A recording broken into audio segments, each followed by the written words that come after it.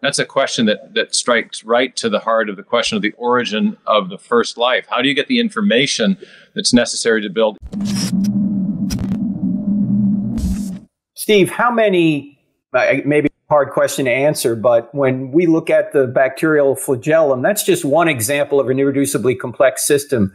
How many systems are inside a living thing that could be considered irreducibly complex. I mean, just because you might come up with a possible way of explaining it naturally, uh, one irreducibly complex system doesn't mean you've explained all of the irreducibly complex systems. So, how many different systems in a in a living thing would be irreducibly complex, or could be, or appear to be?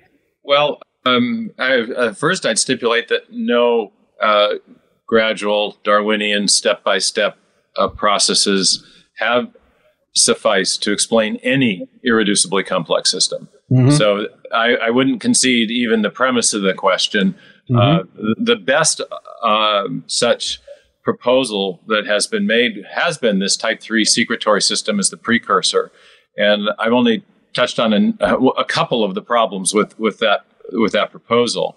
Um, but it turns out, I mean, this is one of the big discoveries of modern uh, biochemistry, molecular biology, molecular genetics, is that at the foundation of life, you have mul- many multiples uh, of systems, nano, various types of nanomachines, circuitry, information processing systems.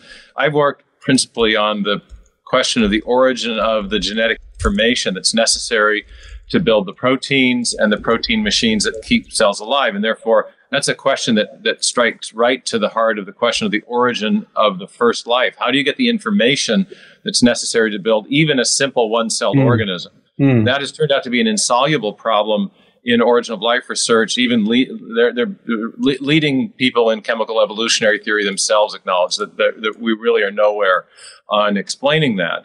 And yet we know from experience that whenever we find information, especially when we find it in a digital form, as we find it at the foundation of life in the DNA molecule and RNA molecules, uh, whenever we find information and we trace it back to its source, whether we're talking about a hieroglyphic inscription or a paragraph in a book or information embedded in a radio signal, we always find that that information arose from a mind, not an undirected process. So that's the, sort of the, the, the foundational argument for intelligent design. But then that information makes these uh, irreducibly complex systems. The, the, information encodes for their construction through very complex uh, kind of uh, assembly uh, routines that themselves have a kind of irreducible complexity to them. But anyway, back to your original question, there are. Um, many of these irreducibly complex molecular machines. We have several animated on my website. The ATP synthase, the, the machine that makes the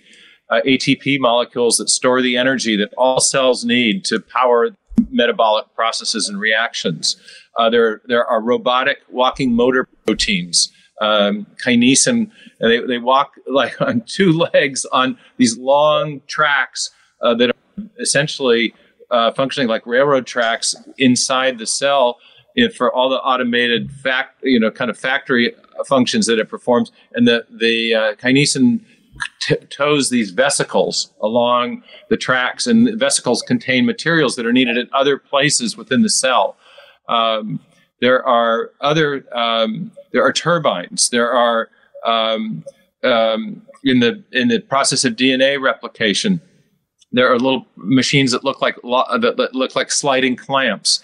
The uh, biology the molecular level is full of these sophisticated nano machines that are clearly accomplishing uh, even mechanical processes that are discernible to a mechanical engineer. The flagellar motor is fascinating because it has, as Scott mentioned, a rotor, a stator, U joints, bushings, a drive shaft, a clutch. Um, on a miniaturized scale. Some of the, the, the, the, systems that Scott works on can tr- change direction on a quarter of a turn and, and rotate at 100,000 RPM. They're, they've been said to be the most efficient machines ever discovered, yet they're in the cell membrane of a one celled bacterial organism. So I like to say they're high tech and low life. So this has been a huge revolution in molecular genetics and biochemistry, molecular biology, the discovery of this nanomachinery at the foundation of life. And it complements the discovery of, of the code because the it, just like if you, you know, if you're uh, your viewers are thinking about uh, an analogy to computers, if you want to give your computer a new function, you've got to give it new code.